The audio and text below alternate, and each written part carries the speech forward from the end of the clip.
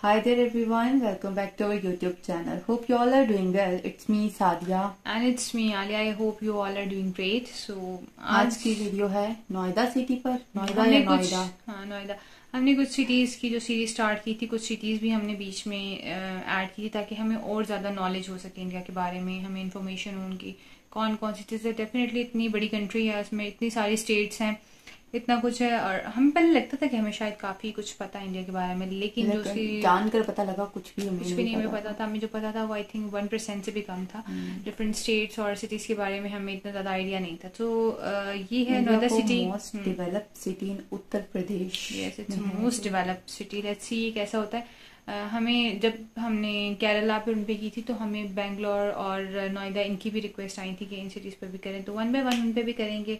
Start लिया हमने Noida city से। तो लेट्स सी कि इसमें क्या होने वाला है। Stay with us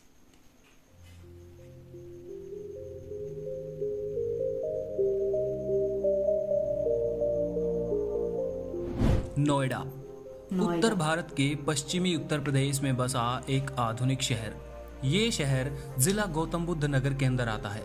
राजधानी दिल्ली से सटा जिला होने के कारण इस क्षेत्र का भविष्य देखते हुए यहाँ इस नए आधुनिक शहर को विकसित किया गया है। ये शहर दिल्ली की सैटेलाइट सिटी के रूप में दिल्ली एनसीआर यानी राष्ट्रीय राजधानी क्षेत्र के अंतर्गत आता है। इस प्लांट सिटी का पूरा नाम new Okhla industrial development authority है। नोएडा अपने आईटी पार्क शॉपिंग मॉल्स बड़ी बड़ी बहुराष्ट्रीय कंपनियों के कार्यालय और मनोरंजन के अनेकों साधनों की वजह से जाना जाता है। उत्तर प्रदेश में जहाँ यूपी 16 नंबर प्लेट वाली गाड़ियाँ दिख जाएँ तो समझ जाइए आप भारत के सबसे हरे भरे साफ़ सुथरे शहर नोएडा की धरती पर कदम रख चुके हैं। ये आधुनिक नगर समुद्र तल से 200 मीटर की ऊंचाई पर करीब 203 वर्ग किलोमीटर के क्षेत्र में फैला हुआ है। 2011 की जनगणना के अनुसार नोएडा नगर छः लाख सैंतीस हज़ार की जनसंख्या के साथ भारत के सबसे अधिक जनसंख्या वाले नगरों की लिस्ट में इकहत्तरवें नंबर पर आता है। ये नगर बहुमंजिला इमारतों से भरा हुआ है।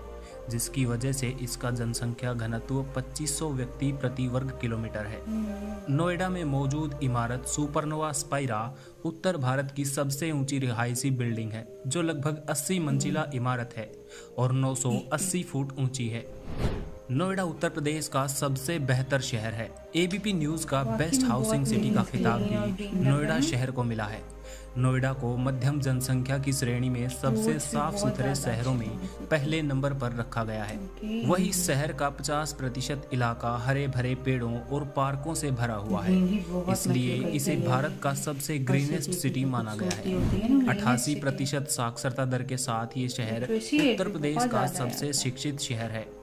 यूँ तो इस शहर में सभी धर्मों के लोग रहते हैं, लेकिन हिंदू धर्म के लोग यहाँ 90 प्रतिशत से अधिक जनसंख्या के साथ बहुसंख्यक आबादी का निर्माण करते हैं। नोएडा में देश के सबसे ज़्यादा मीडिया संस्थानों के कार्यालय मौजूद हैं।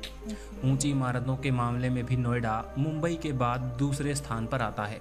शहर की साफ़ सफ़ाई देखभाल और संस्थाओं को चलाने के लिए जितने पैसों की ज़रूरत होती है उससे कहीं ज़्यादा आमदनी इस शहर को टैक्स इकट्ठा करने से मिल जाती है।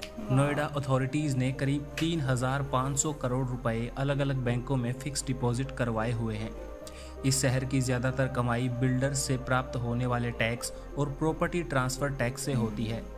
अभी अथॉरिटीज के पास इतना पैसा जमा है, जिससे इस पूरे नगर की व्यवस्था को पाँच साल तक बिना टैक्स लिए चलाया जा सकता है। आज की वीडियो में इतना ही। वीडियो पसंद आया तो लाइक कीजिए। अगर अपने शहर के बारे में वीडियो बनवाना चाहते हैं तो एक्सप्लोर वायरस को सब्सक्राइब कर लीजिए और कमेंट में अपने शहर का नाम लिखकर ज़रूर बताएँ।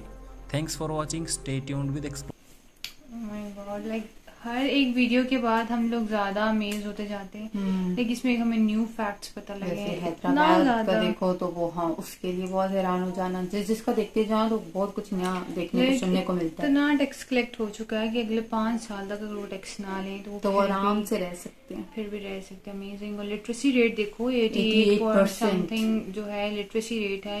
लाइक यहाँ पर हर दूसरा बंदा जो है वो वेल एजुकेटेड होगा। हम्म। और ग्रीनेस्ट और क्लीनेस्ट सिटी है फिफ्टी परसेंट। डेफिनेटली आपको वैसे भी इतना नेचुरल लुक भी बहुत आ जाती है आपका खुद का भी मूड बहुत फ्रेश रहता है ग्रीनरी की वजह से। ना, आपको ऑक्सीजन मिल रही होती है और सब कुछ वो चीज़ भी है और सब कुछ सफ़ाई के लिहाज से भी देखा हम्म। जाए डेवलपिंग कंट्री में भी सॉरी सिटी में भी इसका नाम आता है। उसके अलावा अगर नेचुरल ब्यूटी देखी जाए तो वो भी है सब कुछ ही है एक तरह का। और। हम्म, और इसमें बिल्डिंग्स वगैरह भी बहुत रोड्स कितने अच्छे बने हुए थे नीट क्लीन और ग्रीनरी सबसे ज़्यादा मुझे चीज़ अट्रैक्ट करती है वो ग्रीनरी होती है। है, हाँ कहीं की भी। तभी हमारा केरला अभी तक का मोस्ट फेवरेट है बिकॉज़ ग्रीनरी और बीचेज इनकी वजह से वहाँ पर बहुत ज़्यादा थी तो मुझे हम्म। वो इस वजह से पसंद है तो इसमें भी वही चीज़ है कि लाइक ग्रीनरी बहुत ज़्यादा है और देखो ना नंबर वन पे और मुंबई के बाद सेकंड नंबर पे इसका आता है कि ये बहुत ज़्यादा डेवलप्ड उसके अंदर ये आता है।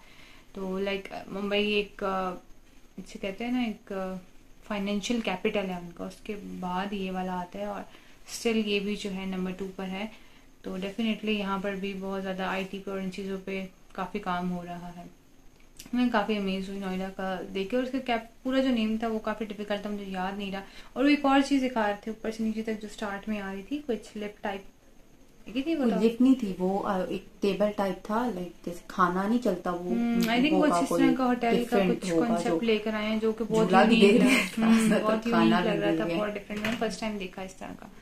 So this was a video and I really enjoyed मुझे बहुत अच्छी लगी डॉक्यूमेंट्री मुझे भी। वीडियोस हमने नोएडा पे भी देख ली है। लेट्स से बैंगलोर पे भी हमने करनी दो तीन की और भी हमें आई हुई रिक्वेस्ट उनको भी हम ज़रूर देखेंगे। मुझे बहुत न्यू न्यू चीज़ें पता लगती हैं डिफरेंट सिटीज़ के बारे में विच आई रियली एंजॉय तो लेट्स सी कि अब नेक्स्ट हमें और देखने को क्या मिलता है। इसमें तो मुझे जो सबसे जो अमेजिंग बात थी वो टैक्स वाली थी कि लाइक इनके बैंक में इतना पैसा पड़ा हुआ है और ज़्यादातर हाँ लिटरेसी रेट और जो वो भी बताते कि ज़्यादातर जो यहाँ का टैक्स कलेक्ट होता है वो बिल्डिंग्स जो यहाँ पर इसका पे काम हो रहा है ना बिल्डिंग्स पे इसकी वजह से वो लोग ज़्यादा टैक्स कलेक्ट कर पा रहे हैं इसी वजह से।